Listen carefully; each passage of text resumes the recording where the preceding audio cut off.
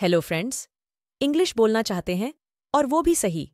मतलब सही से, बिल्कुल स्पीड में। फुल स्पीड में अगर हाँ तो ये सारे के सारे शब्द रट डालो। अभी के अभी। चलो फ्रेंड्स बिना देरी के वीडियो को स्टार्टेड करते हैं। रिश्वत को हम इंग्लिश में ब्राइबरी कहते हैं। घोटाला को हम इंग्लिश में एस्कैम कहते हैं। नींव को हम इंग्लिश में फाउंडेशन कहते हैं। घाटी को हम इंग्लिश में वैली कहते हैं।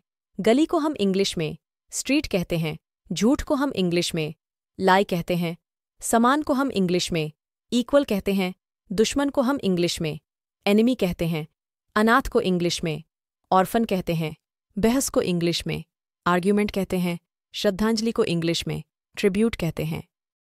आस्था को हम, इंग्लिश में फेथ कहते हैं, दया को हम, इंग्लिश में काइंडनेस कहते हैं, लाचार को हम, इंग्लिश में हेल्पलेस कहते हैं।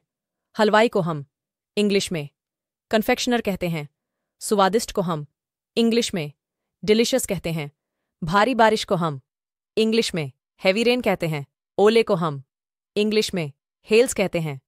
वीडियो को आगे बढ़ाने से पहले आपसे रिक्वेस्ट करती हूँ कि आप हमारे चैनल को ज़रूर सब्सक्राइब कर दें, ताकि हम ऐसे ही और वीडियोस डालें तो आप उन वीडियो को देख सके।